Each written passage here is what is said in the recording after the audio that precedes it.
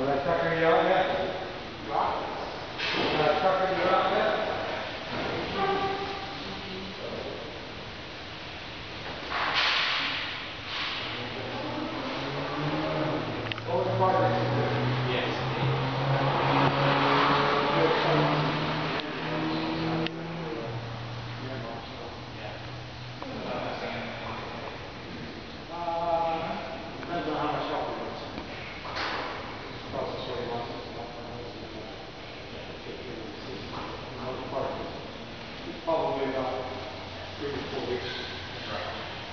if that could work.